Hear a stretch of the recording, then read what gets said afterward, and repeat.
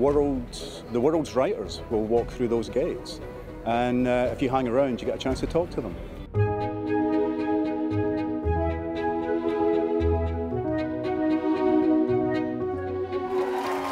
I'm interested in conversations that deal with things that matter, that real, you know, how do we live our lives?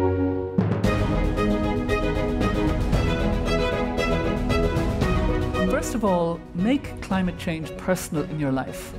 The second step is get angry and get active. And the third step, and believe it or not, I think this is the most important, we have to imagine this world that we want to hurry towards.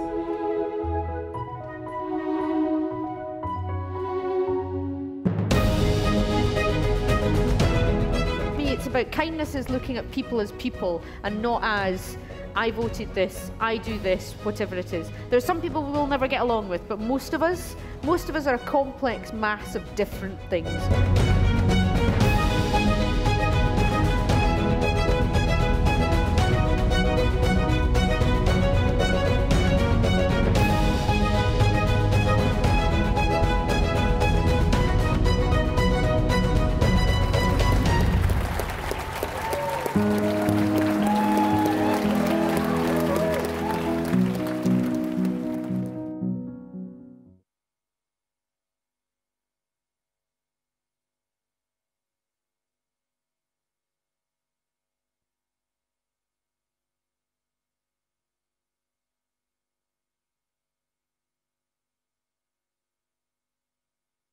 Hello, I'm Ian Rankin. Uh, I've been with the Edinburgh International Book Festival basically since day one. I went as a student, as a reader, as a fan of writing.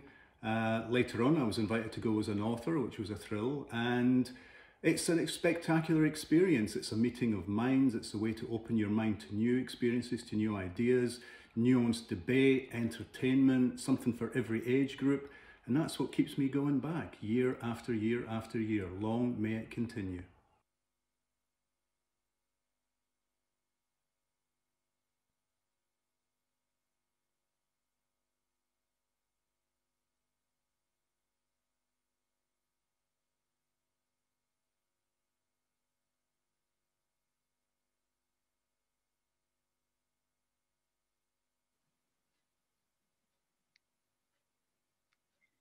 Hello, and a very, very warm welcome to you. I'm very excited to be here in my very own kitchen um, to introduce to you the most wonderful person, this most wonderful human being, Joy Harjo. She's um, so inspiring, and she's the, the National Poet of America, the American Poet Laureate. She's written eight collection of poetry books. She's written a memoir. She's received numerous awards for her work, and her work deals with subjects that we should all um, be interested in and that we all are interested in, in the form of family, exile, belonging, song. She's multi-talented because she's a saxophonist, a musician, as well as and as well as experimenting and playing around and enjoying herself with all sorts of different forms. Her work sings in multiple voices. It's really a huge uh, honour and a privilege uh, to be meeting her in the Zoom room. It's frustrating because I would love to have met her in person. My name's Jackie Kay. I'm the National Poet of Scotland, the Makar. Um, I love the term Makar. I love the democracy of the term because it comes nearest English equivalent to the word is maker. And uh, I love there is a Scottish expression that kind of goes, "What do you make of that?" Well, what do you make of me being your makar? But anyway, I love, uh, I love, I love the word makar. When I first became makar, they asked me if I wanted to change the word because nobody knew what it meant, and I didn't. Uh, I didn't. So I've made it my business really to try and uh, get people to know what the word means. We'll be talking about language, ancestry, passing things down, generations, song, exile, our mothers, our families, our secrets, our births, our deaths, the way that we hang on to people and the way that life continues. We'll be talking about all of these things and more as very much as we can fit in to this glorious hour. We're probably going to make it up an hour. We'll probably run for the hour because I think we might run out of time.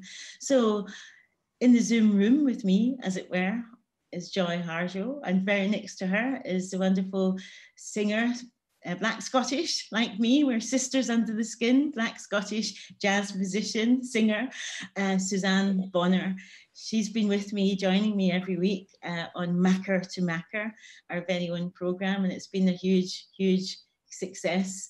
Um, we did the last Makar to Makar last week. Hopefully, many of you will have seen it, and um, and it's been an extraordinary pleasure working with Suzanne. Um, she takes everything seriously and she listens and she learns. Anyway, I'm just going to kick off, Joy, by saying welcome to our virtual Edinburgh. Welcome to the Edinburgh International Book Festival. Joy Harjo. Well, I am so glad to be here virtually. I wish I were there in person, but someday. But I'm really honored as, and as we say in our Muskogee Creek language, uh, Stongo, you know, good morning here is good afternoon there. And um, at least we can meet this way, and that helps. But um, it's an honor to be here and, and to meet you, to meet all of you. It's been, I, we've had a great time even before we started. so I'm looking forward to this. Yeah. Thank you. Thank you so much. And it must be, I mean, you were made the American Poet Laureate in 2019, and it must have been an extraordinary journey, the journey of your life to, to that point um, of being the, the, the American Poet Laureate, the National Poet of America. How does that feel to you? It's still, yeah, it was shocking to me when it happened. And uh, I know that people were celebrating you know, when I did my my performance, I, I was the only poet to have a whole band and play saxophone at my inaugural performance in DC. But people were, you know, tribal people, the different tribal nations were just celebrating big time because it's really unusual. And and I was happy, you know, I'm a representative and I'm in service. I say all positions are service positions, you know. you're born. It's a service position. And I'm here to, you know, serve poetry. But it was really, it is kind of shocking if you look, if you know me or know my story, you know, to to wind up being the U.S. Poet Laureate is quite a, it's been quite a journey. Yeah, no, I, and I do know your story, and I, I, it is, and it is shocking. It is wonderful um, because it feels, in a sense, it's probably the ultimate validation that a person could get in a way is to become your country's national poet. Um, and it's it's strange when you've suffered um, by your country uh, abuse, um, terrible treatment, uh, racism, and when your people have been treated so badly it's it's it then kind of makes you feel that you get to a certain age and it takes getting to that certain age and being made your country's national poet before you can feel like like you're properly of your country. Um whereas and that's strange because of course you were of your country all along before they came and took your country. So it's a very very complex thing but i know that from from my own point of view i, was just adopted and uh, and when I when I uh, read the opening poem of Scottish Parliament, um, in Scottish Parliament, my mum, my mum and dad that adopted me were there in the in the audience. Um, uh, my dad's just died recently, but um, he was there in the audience, and he was really really happy. I'm really excited, but I was also thinking it was in the town that I was born, Edinburgh, this town that we're virtually in right now. And I was also thinking that it would be an amazing thing for my birth mother to realize that that baby that she had in the mother and baby home in Edinburgh was, was now standing in front of the Queen. And it just seemed wild, I mean, really quite wild to me, bizarre. And, uh, and it was just, uh, but it also felt extraordinarily validating, um, extraordinarily validating. And my, my dad said to me when I became the Makar, he mm-hmm. said to me, he was 91 and a half then, and he said to me, how long's your term in office? And I said, it's five years, Dad. And he said, Well, your mother and I will just need to see out your term in office. And um, he very much, he, he very nearly did. But um, but anyway, it, it is that strange thing of of, of feeling. Um, Suzanne and I both had this experience of always being stopped and asked where you're from, where you're from, where you're from, um, because you know we're yeah, but and people often mistake us for each other and all sorts of things, and, and so we've had a lifetime of strange, strange experiences, and and I finally feel now I'm, I'm about to be 59, so I think I'm about 10 years younger than you, Joy, but I finally feel like I do belong to my country, but it's a bit of an extreme step. To, you can't really recommend it to everybody. Oh, just become your country's national poet. That'll sort you out. yeah no history is complex and and there's you know every human is a contra set of contradictions and paradox and a great irony you know. So yeah it is there it is. And then um, my um, tribal nation just had a landmark decision in the supreme court that backed up treaties the treaties that said you know we you know these lands that we were moved to in oklahoma we're still, you know, you know, they're still ours. Absolutely. That was but big. It, it, was huge. Very, it was, it was a massive decision. Of course, immediately, uh, people went about trying to. They're still trying to undo that. You know, but it was it was a huge it was a huge decision, and somehow it feels to me like this poet laureate thing. That was a mark, and then it you know there's just doors doors opening. Of course behind the doors opening are people trying to close them again but maybe that's the great you know that's the story making. The story yeah. wheel. Yeah the story wheel right. The story wheel so we have to continue. We can't just relax you know it was just like the next day we were having the next day after that announcement everybody was working to try to stop what they had already set into place. But it's shocking, really shocking. Yeah. But did it feel because you've you've won a number of honors uh, in your life, you know, a Guggenheim, a Josephine Miles Prize, all sorts of different awards. Your work your work's been garlanded with with prizes, and you've received a lot of, and rightly so, recognition for your work in the form of literary prizes. But did becoming your national poet the country's national poet feel different to those kind of awards? It's a very different kind of thing, and and most of those awards came after just a few years ago. For years. I didn't get much rec- I I got no national recognition, but I made a reputation on my poetry and traveling and reading and and uh, performing and visiting people and and that's how you know I just garnered that reputation. And it wasn't until probably about 10 years ago. I, I had applied for Guggenheim many, many years.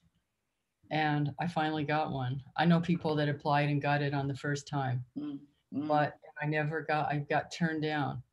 But I always had a feeling I wouldn't get one in poetry. I got it in creative nonfiction, mm-hmm. which yeah. is interesting. You know, She Had Some Horses is one of my most well known books. It never got reviewed and uh, was never noticed, was never got any recognition. Well, I want to tell you that I noticed it when it came out. and I've had that's one of my favorite poetry books. She has some horses. Um, and it's, you know, I've been reading your work for, for years. And so that's why it makes me uh, that's why I'm even more excited to to have you here because your voice um, um, was so important to me. Um, and you've been around a long time uh, and you've been making your work known for the people that were able to get into Sisterwrite or Compendium or independent bookshops that, that stored it. And um, we're able to find your work and, you know, the work, your work and the work of June Jordan and Audre Lorde um, meant a, a, huge amount to me. I noticed that you begin um, American Sunrise with an epitaph, one of them from June Jordan, about the beauty of the truth and telling the truth. I met her on a number of occasions and Audre, Audre Lorde. but it oh, seems to me. I was just writing something about Audre. Yeah. Were you? That's that's wonderful. What what's that for? It was something that I have due. yeah, it's something I have due, but I was talking about her mentorship of, you know, her mentorship. She mentored a lot of us. Yeah, yeah, yeah. She was an incredibly generous person. I mean, my son, who will be 32 this Friday, kind of get, I still find that really amazing. Um, but he'll be 32 this Friday. Well, his little bank account that he's got was opened by Audre Lorde. Oh, um, really? Yeah, because she did a she did an interview with Spare Rib, and uh, and they sent her a check for 60 pounds not very much money and they said you know you can donate this back to the magazine. And she said what a nerve them asking for their money back. I'm going to what a cheek they've got. I'm going to i'm going to she said i'm going to give it to you. And i was pregnant at the time with my son so she said put that in a bank and open that for your boy. So that's how we should know i didn't know I was having a boy for your child. So that was it. So it's, it's a great it's a quite a cool story to to tell. Yeah, that is. Uh, yeah, yeah. But you come from uh, from a long line of poets, and extraordinary poets have been poet laureates, poets whose work that I uh, really, really admire.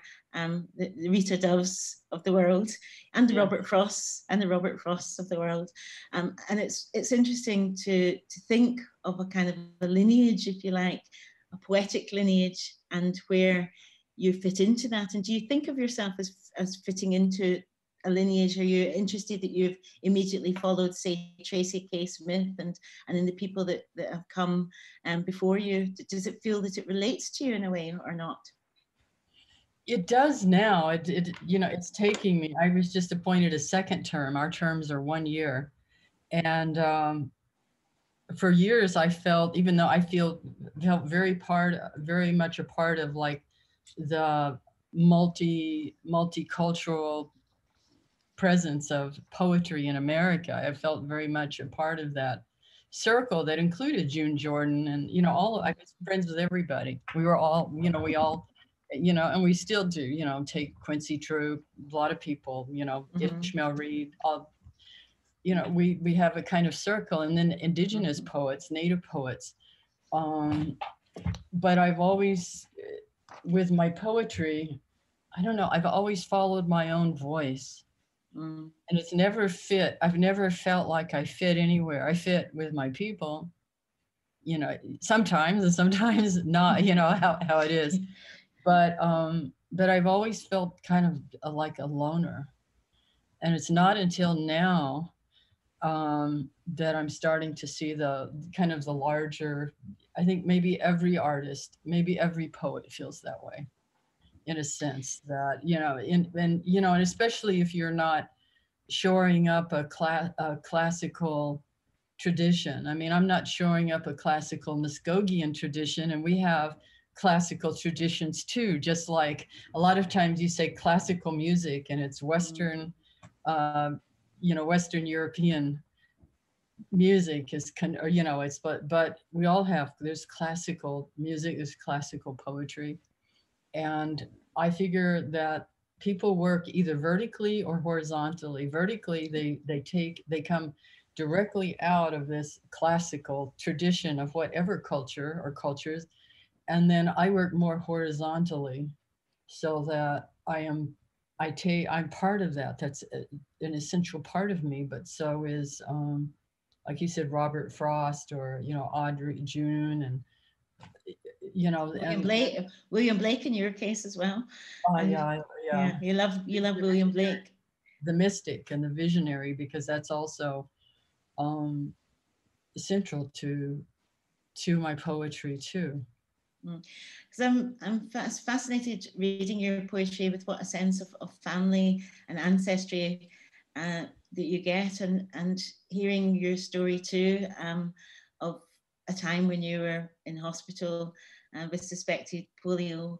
And the way that you described that experience um, actually reminded me of being in hospital age three as well. It was ex- it's extraordinarily detailed that that that memory, remembering being a child and remembering what that's like and remembering what it's like to being abandoned, and the way that you write about your mother in that way that you're kind of almost in love with your mother, like we are in love with our mothers. We notice everything about them. You recreate her, you re- recreated her for me to such an extent that I feel like I, I know her. She feels like a familiar, and um, and it, it, seemed to me that that that whole uh, business of remembering at one point you say in your poems and in your memoir that you're you're you're one of the last people in your generation. It's your business to remember. You have to remember yeah, that's true. There is no, you know, you get to you get to my age, I'm 69, and the people that you relied on, your mentors, the people who know things in the community in the larger community and even global because we all it's a, we come we've come into a global world and we know people all over the world. But um you lose people. You know it becomes i was worried that my facebook page at one point was just going to be a page of memorials because you lose people. And then now we're losing people to covid. And um but you look around and there's only a few few of you you know i lose my lost my mentors but i find them. Sometimes i hear them they're in their poetry they're in their stories or i've learned that nothing is ever really lost and no one is lost. I, I was a grandmother in my 30s i'm a great grandmother now. I became a great grandmother about four years ago. And um, I've watched this, you know, there's this ancestral thing. I talk about poetry ancestors, that every poem has ancestors. You know there are and you can start a whole class that way. Just have everybody bring in a poem and then you start tracking the ancestors of that poem and the poet and you can make a whole class you can make a whole class from that so well, this seems yeah. this seems a good time to actually hear one of your poems would you would you like to do a reading for us that would be fantastic. yeah i'll read the poem running now if we're talking about family and uh, This is one I usually hesitate to read, but um, I always tell tell audiences that too. A lot of people think that poets just, you know, your audience knows better, this audience, but I know in the public, I know in the American public, people think, well, poets just get an idea and write it down and it's there, you know, and and it's it's not that way. And then some sometimes you get something and run with it, but there's a lot of revision. And we also study history. You know we're always uh, you know studying something i'm always studying history and, and music and etc but uh, so things get woven in and i always say that uh, preface and say well not every poem is about me even if it's an i and yet in this poem i don't know why i'm saying all of that because this did this did particularly happen but it really doesn't matter that it happened, but it does matter. Does that make sense? Yeah, completely. Absolutely. That makes sense if you're a poet. You follow it. It's called running. It's closing time. Violence is my boyfriend with the cross to bear. Hoisted on by the church, he wears it everywhere. There are no female deities in the Trinity. I don't know how I'm going to get out of here, said the flying fish to the tree. Last call. We've had it with history, we who look for vision here in the Indian and poetry bars somewhere to the left of hell. Now I have to find my way when, when there's a river to cross and no boat to get me there, when there appears to be no home at all. My father gone, chased by the stepfather's gun. Get out of here. I found my father at the bar, his ghost at least, some piece of him in that sorry place. The boyfriend's convincing to a crowd. Right now, he's a spell of attraction. What tales he tells in the fog of thin hope. I wonder this sad world we've made with the enemy's words. The lights quiver like they do when the power is dwindling onto a dangling stream. It's time to go home. We are herded like stoned cattle, like children for the bombing drill out the door into the dark street of this old Indian town where there are no Indians anymore. I was afraid of the dark because then I could see everything, the truth with its eyes staring back at me, the mouth of the dark with its shiny moon teeth, no words, just a hiss and a snap. I could hear my heart hurting with my in the dark ears. I thought I could take it. Where is the party? It's been a century since we left home with the American soldiers at our backs. The party had long started up in the parking lot. He flew through the dark, broke my stride with a punch. I went down, then came up. I thought I could take being a girl with her heart in her arms. I carried it for justice, for the rights of all Indians. We all had that cross to bear. These, those old ones followed me, the quiet girl with the long dark hair, the daughter of a warrior who wouldn't give up. I wasn't ready yet to fling free the cross. I ran and I ran to the 2 a.m. streets. It was my way of breaking free. I was anything but history. I was the wind. Yeah, that's wonderful, wonderful poem. And I like I like the paradoxes that are in that poem as well. I was anything but history. I was the wind because you get a sense of living in that moment, in that present time, but you also get a sense that you are running with with history, running mm-hmm. through history and running to tell the story, um, running to to be to be free, running to escape, but also running towards. Um, yeah. Running is running itself is, is such an extraordinary thing because you're you're thinking in your head as you're running. It's a freeing thing, isn't it? Running. Um, it's freeing in, in some ways, but it's also uh, because it's philosophical at its heart. And that poem reminds me of how philosophical running is and how for some people running is a necessity. And what was physically running like for you? Well, I'm not really a runner per se, mm. although I'm I do a lot of dance workout and uh, and uh, weights and so on. And the only sport that I ever really did was racing outrigger canoes in Hawaii when I lived there. But uh-huh. I would like to. I've always wished I could get to that runner's place because I have I have done some for workout. It's just that what I would do at 2 a.m. You know, just because of that at that moment that violence, I just ran home through the dark. And I was thinking about how you growing up and so many times somebody looked after me because I was in places of great danger. You know what in that mm. neighborhood, being alone, a young woman, run, you know, running through running through the night, running a mile home. Yeah, running to running to escape and running to to be safe. And you're yeah. right in your work. You're right in your work across the body of your work a lot in different ways about violence, all different kinds of violence, male violence, violence from within a community and violence from without, um, violence inside and outside of the life, and, and the way that violence can, can uh, define a life.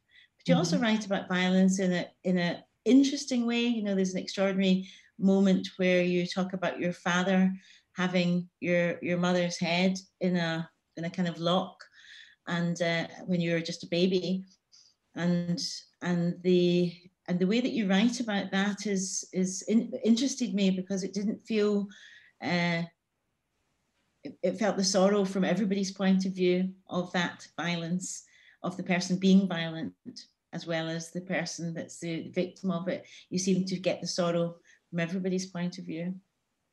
Yeah and actually in this new memoir that i'm uh, just wrote called, it's going to be called Poet Warrior, A Call for Love and Justice. And some of those scenes, I mean, I, I, I take it from the last memoir, but I, in order to tell a life, I still go back to some of those places. And, and my uh, reasoning for that is that you still, that's how memory works. And there's places in the territory of memory that are so resonant and deep that you're trying to work out that yes, you return to them. So I need to make a note because I have to, I, need to go in and write something in that memoir about that, about how, you know, there's this point, I go back to this point, you know, because, you know, because it is so resonant and I don't, I have not fully, I don't know if you want to disappear it because those points become points of great knowledge. Mm.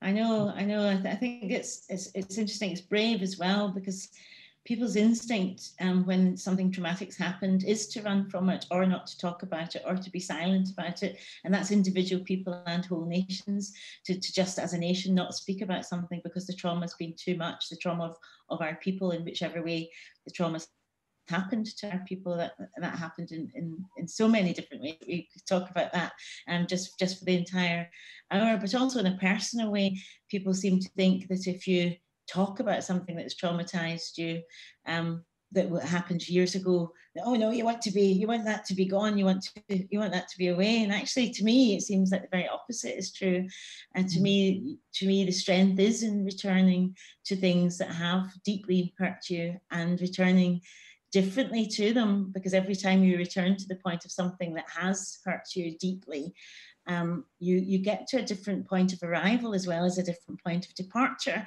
and it seems to me a, a kind of extraordinary um, strength to be able to face something and return to it.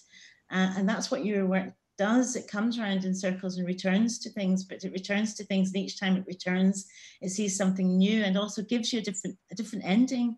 So in the poem, Washing My Mother's Body, it hurts you that you didn't get to wash your mother's body, actually, but you return to that and you imagine it in such extraordinary detail um, and not just the washing of her body, but all the memories that come back and forth from the pail and the cloth and everything that it takes you back and forth childhood to, and and and and in doing that, you repair some of the hurt that it must have caused by not being there to wash your mother's dead body. Yeah, it was interesting how that poem happened because often I'm you know reading history and then start blending all kinds of things. And i was in a i was working on american sunrise but i was in this in another whole side of the family you know following this particular trail and movement. And then i sit down and it's like the poem is like waiting to be written. It just came out. It just i just kept writing and writing. Of course i revise. I revise a lot and I still, uh, I think I've revised since it's been printed a little bit because as I read, yeah. as really? I what, have you what, have you what have you changed then? Did you remember what you changed in that? It's nothing big since the no. since it's been printed, but there was a yeah. period I took out in the first version I sent to Norton to my editor. I it was a little bit longer and I cut it down. Mm. I think it's just a really. I, I find it just an absolutely extraordinary poem, and Suzanne and I were discussing it together. Um, uh, you know, it's a kind of well, it's the kind of poem you want to talk about to your friends. We we were talking about it past midnight on the phone uh, the other night. You know, we were we were talking about it, and we were talking about ancestry. And this seems a good moment to bring in uh, the wonderful Suzanne Bonnar, my kind of sister friend, um, because uh, my beloved, because um, ah. uh, yeah, because um, you know, we, we think, don't we, a lot about about ancestry and about what's missing and about returning to points in order to make them make them different. Yes, and Joyce, your work, oh my goodness, the resonance. I understand when you talk about loneliness because I think the loneliness of um, for me, my dad was American from Cherokee County, uh, oh. Carolina. My mum's Scottish, and I lived in a small, very small rural, like island life but small community and I was probably like the only person, the only me.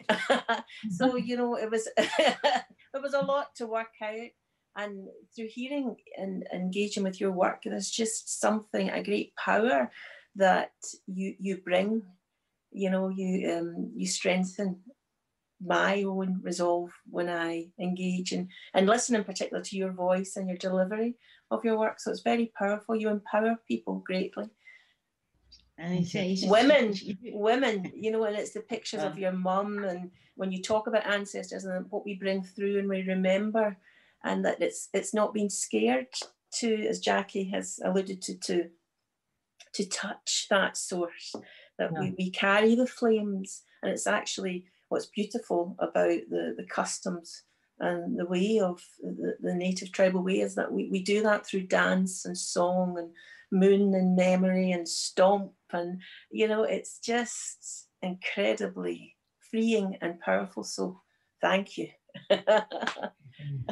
Suzanne, Suzanne you, you you decided that you would sing a song that's that's been inspired um, or even provoked by yes. by immer- by immersing yourself in the wonderful Joy Harjo.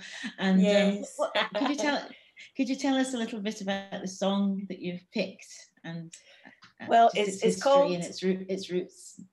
Yes, it's a it's an old folk song, and there's lots of different, I think, kind of um, theories about how it evolves and when it was written. It's called Shenandoah, and um, my dad also supposedly have Chang, uh, Cherokee ancestry, and it reminded me of when I went to Carolina. You know, that you were talking about Scotland too, and the mountains, the spruce trees, the starlight, the rivers, and how indeed people were taken from land.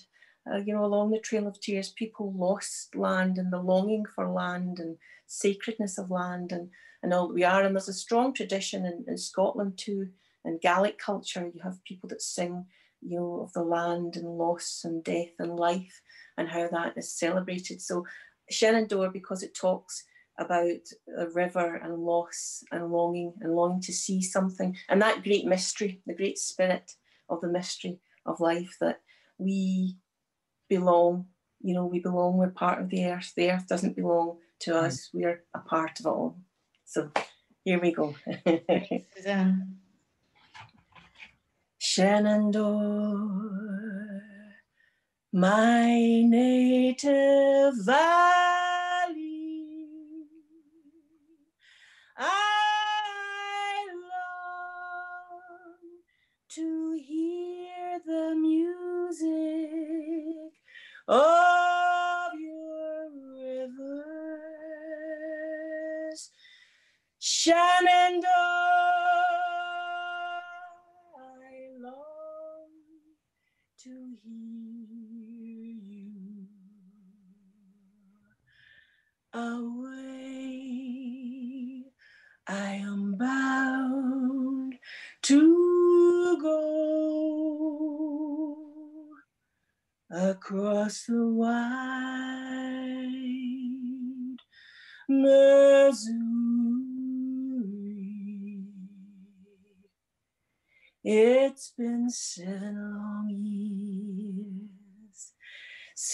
Since last I saw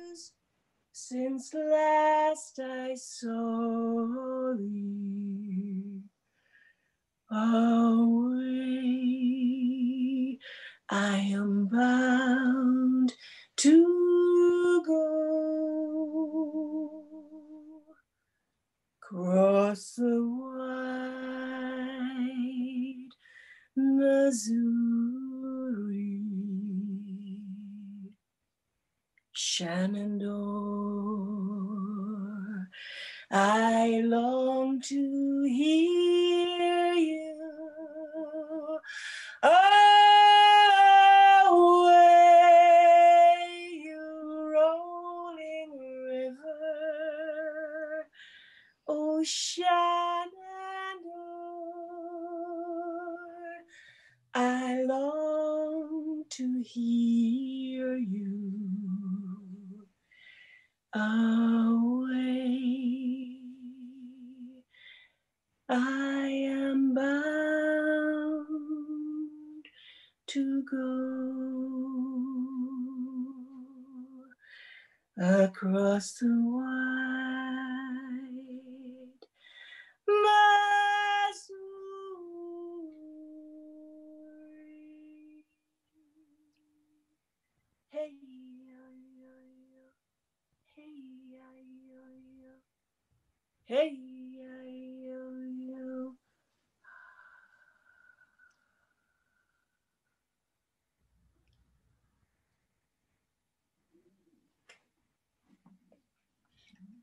That is so beautiful. Now I know what they mean when people say they're transported. Ah, beautiful. That's what you do. you. and Jackie too. That was um yeah. that was that we was really hear from Jackie now. Jackie, we need to hear a poem from you. Oh, okay. Okay. Um, uh. Was really I was really moved by that, Suzanne, because of well the, the combination of of reading the ways in which you talk about rivers, joy, and the rivers that run through our lives, and continuance, and the ways in which the dead can still um, be with us seems to be something that is important to to all of us um, the conversation, the open-ended conversation we have with our dead. So um, I thought I would read this this this poem uh, to you. My birth mother, who was born in the Highlands of, of Scotland, uh, died just when I became the, the national poet of Scotland. So she didn't really get to, to know about that. But um, but I, I, I was able to, to be with her just shortly before uh, she died, um, but not actually when she died. Anyway, that's all too complicated. I need to need to scrap that. Help! Um, but I thought, I, but I thought I'd, I'd, read this poem that I a very short poem that I wrote for her. Um, in my memoir, Red Dust Road, she's called Elizabeth. Um, but I decided that in this poem I would give her her real name, which was Margaret.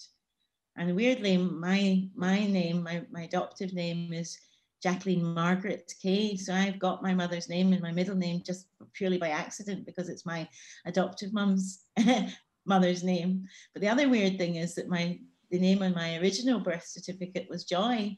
So I was called Joy for the first five months of my life. I was Joy Ross. um, so it's very, it's very funny. And my birth mother apparently called me Joy, um, so that I would bring joy to my adoptive parents. So I think it's funny to be to have been uh, you know called after an abstract noun in order to give joy to somebody. Just as well, it wasn't patience, hope, or charity. Well, definitely not chastity. Yeah, my that's funny. My sister's name is Margaret. Really? Yeah. There you go. Well, there you go. Joyce and, Joyce and, Joyce and Margaret's. But, but um, anyway, I wrote this poem and I did read it at my mother's funeral. But at my mother's funeral, uh, they asked me to come and read a poem and they introduced me as the national poet of Scotland, but they didn't tell anybody that I was her daughter.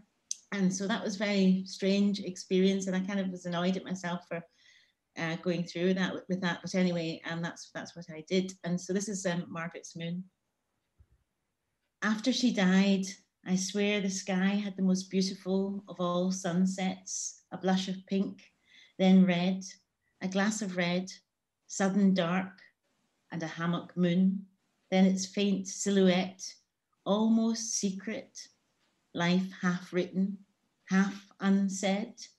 I'd kissed your head in the strange room. Then later, I blew a kiss to the stars, to regret. Margaret.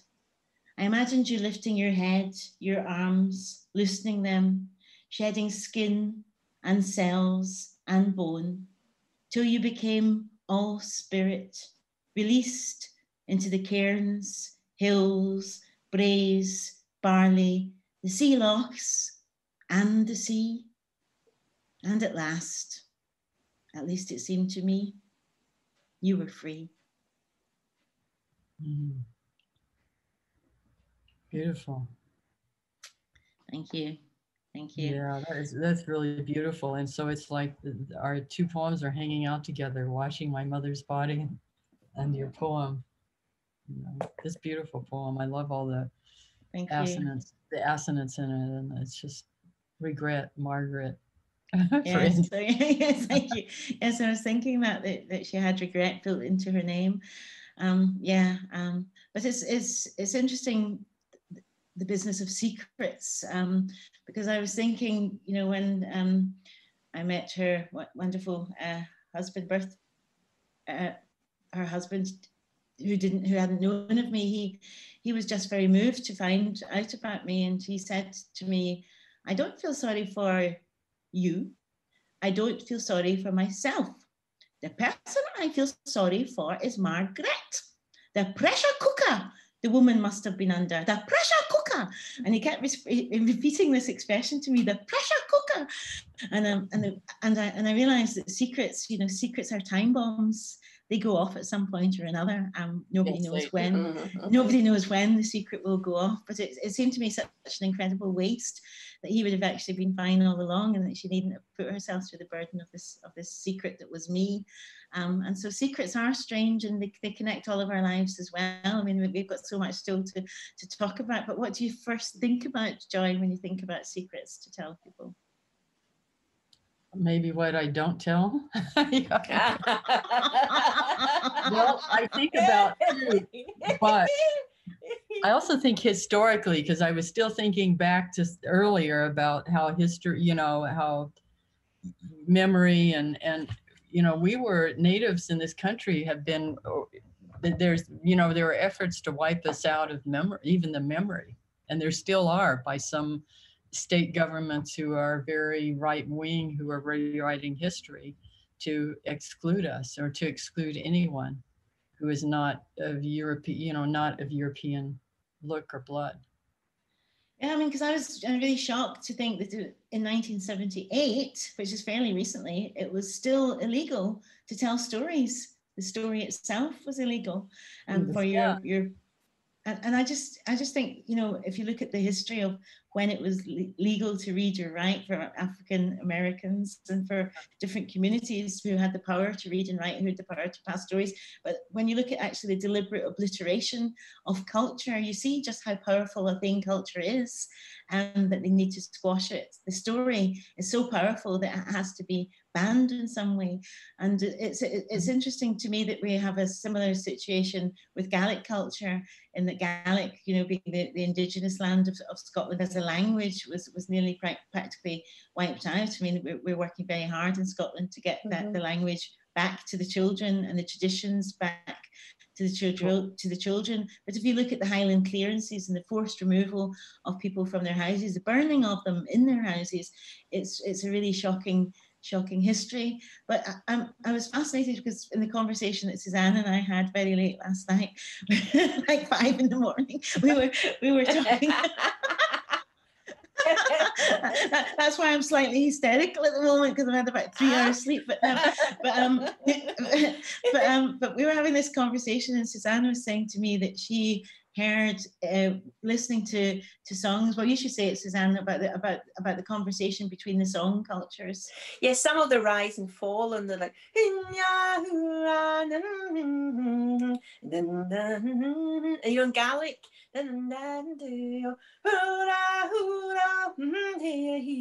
It's similar isn't it to some of the the native songs? Do you know the traditional songs? I was yes, a similarity there's a guy named Willie. What is his name? He's a scholar who's done a lot of study of that. Yes, yes. I know Lomax. Native, Lomax. Uh, yeah, no, not not him. Oh, wait, no, another one. I think yeah. he did about um the it's like the we free the mm-hmm. ah, ah, so the presenting of the soul being similar to gospel as well that, that he, yeah, he reckoned gospel. that slaves heard um, you know, and when they were working and how it's influenced the sound of gospel, you know, in the, in the southern states, how it evolved. And from America, I think I know who you mean, Joy. Muskogee yeah. Creek, the people, if you hear our music, you hear that part of the roots of blues and jazz has been left out. Yes, yes. in our traditional music, we're not powwow. Uh-huh. A lot of our no. people do powwow, but you can hear it. If I could, I would pull it up and play some right now if I'd known. Yes but in our traditional yeah. music, you hear the root, one of the roots of blues and yes. jazz. And our music has all these elements, similar elements. We have swing, we have polyrhythm, we've got, uh-huh. you know, yes. so there's been, you know, tr- you can't you can't straitjacket music. No, I know because you you write in your in your one of your poems, and I was there when jazz was born. Uh-huh.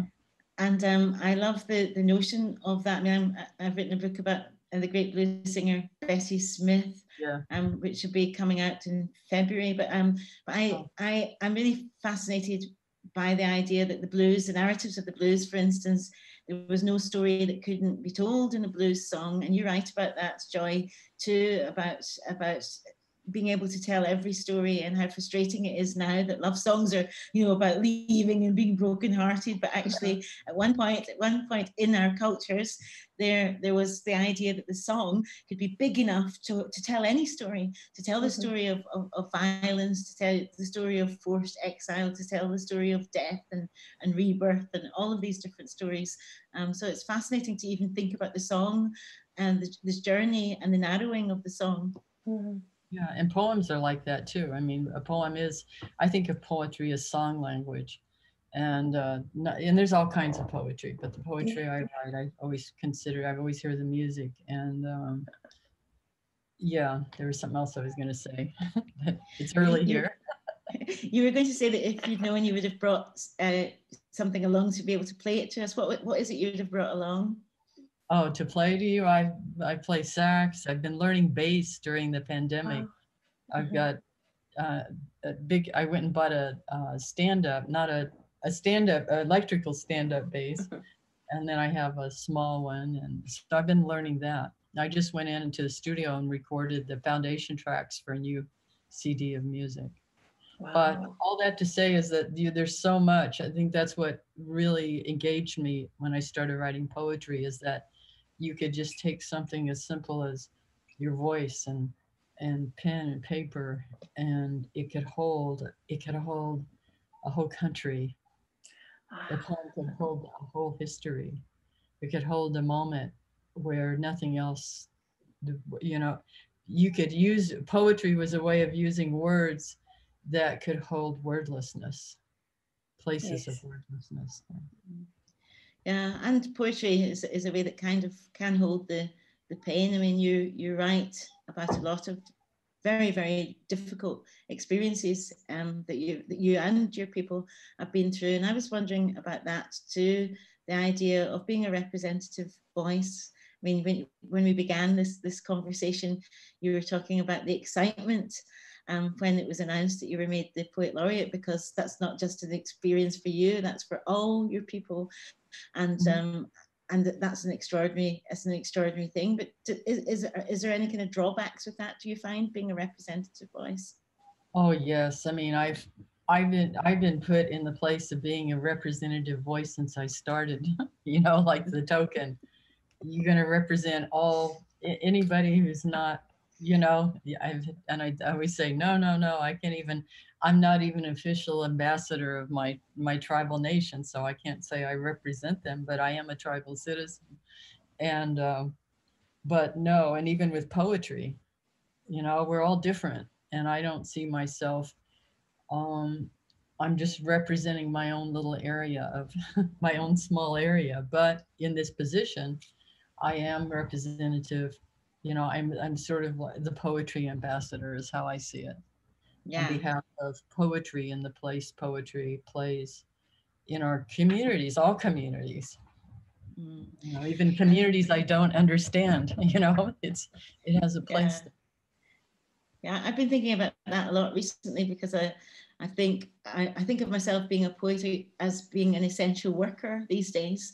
Yeah. When we talk we talk about essential workers being sort of nurses, doctors, supermarket people, and all sorts. But I think in this particular time, um, we've had a real sense of how much poetry, culture, song matters to people, and mm-hmm. just just how much it matters in these times. So yeah, I'm, I'm going to call myself an essential worker now.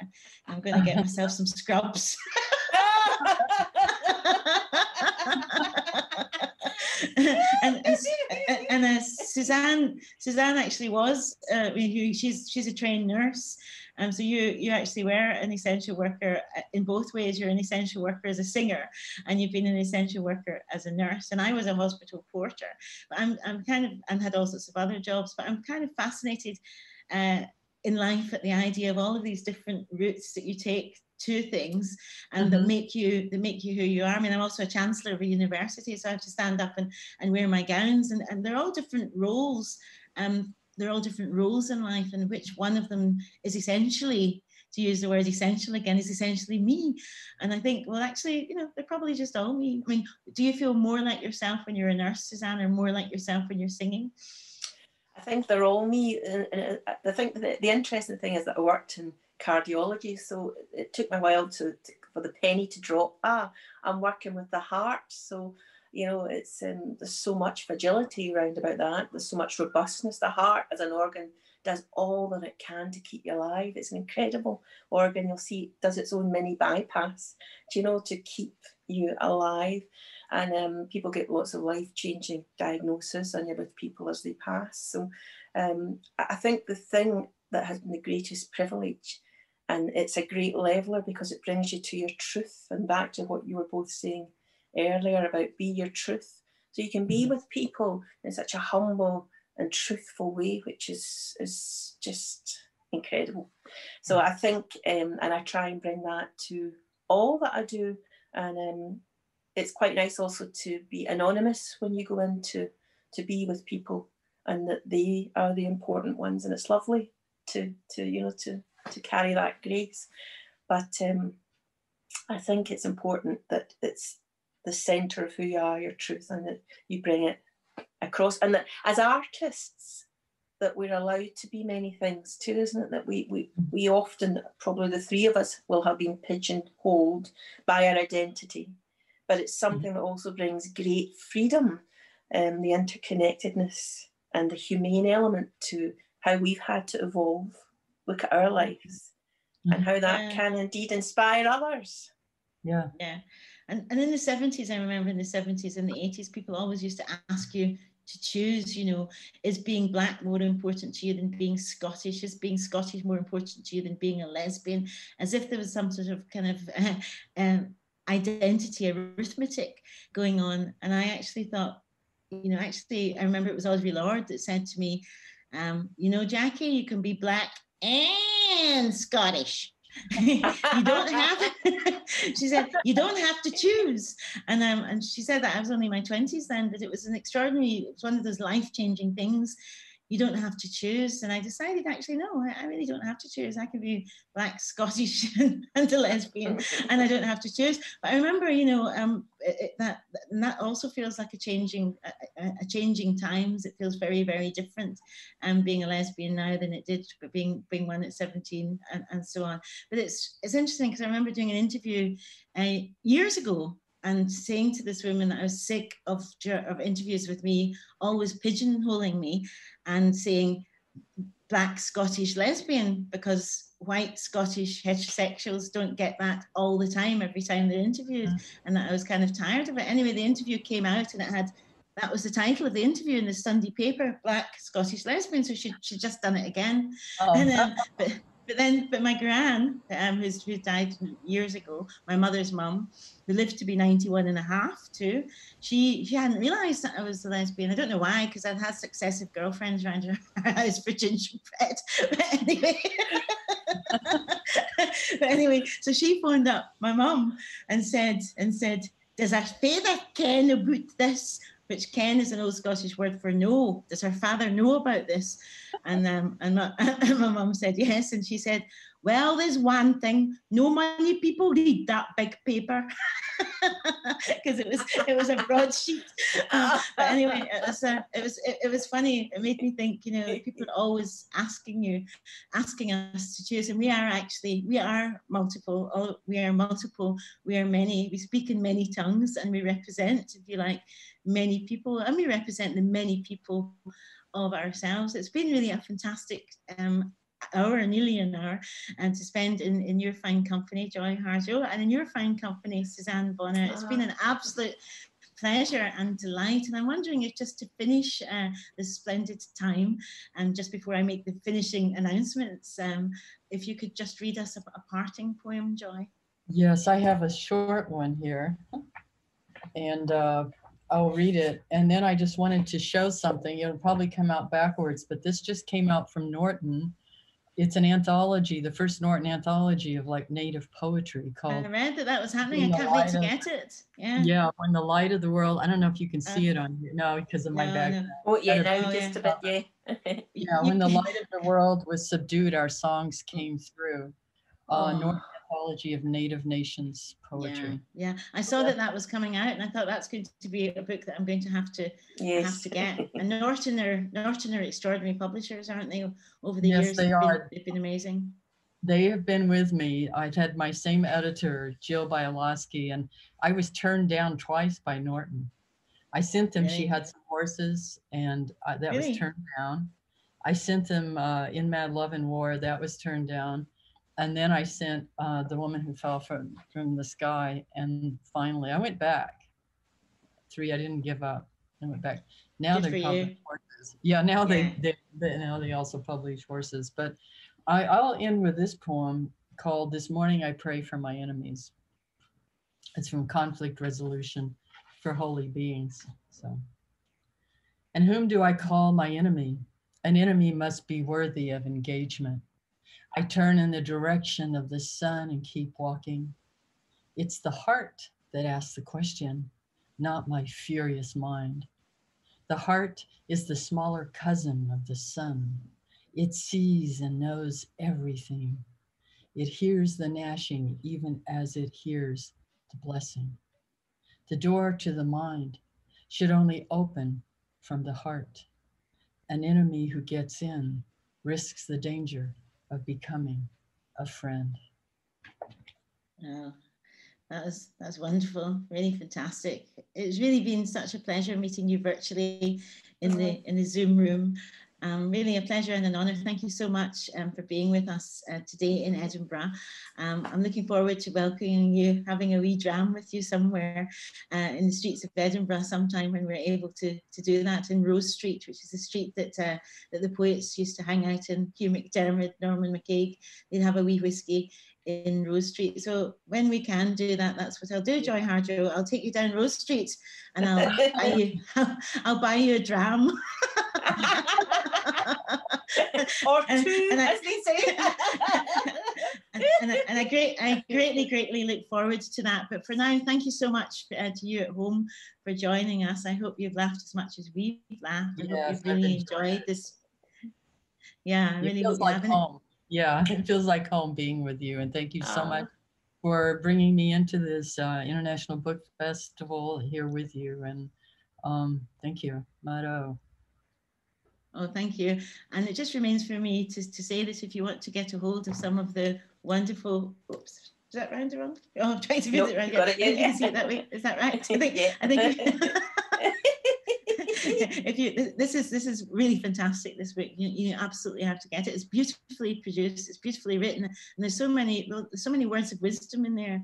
There's ways that you can you can live your life by this book. It'll give you so much advice apart from anything else but it'll also fill your heart and fill your spirit and make you think backwards and forwards through time which is what the wonderful writer joy harjo does um, in all of her work. You must get hold of her work. You must get hold of her memoir and her other books. My, you know that it's um, well, she's she's she's just a writer who's been around for a long time, and you must find everything she's written and get it. And you can get it if you go on to the Edinburgh International Book Festival website, which is let me just see. I wrote it down. Yes, which is a little moment of hesitation at bookshop bookshop at shop dot edbookfest.co.uk. So that's bookshop at shop dot edbookfest.co.uk. You'll be able to get all Joy's work there and peruse it and come back and see us sometime if you want to talk about it. We'll have a Joy Harjo appreciation event next year. when we'll all, when we'll all be there in person. See that That poem? See that poem, Hen? What did you mean by it? Thanks very much to Suzanne Bonnar, Joy Harjo. I'm Jackie Kay. Thanks for joining us. I think we're all going to wave on the count of three in that Okay. new Zoom thing. One, two, Two. three.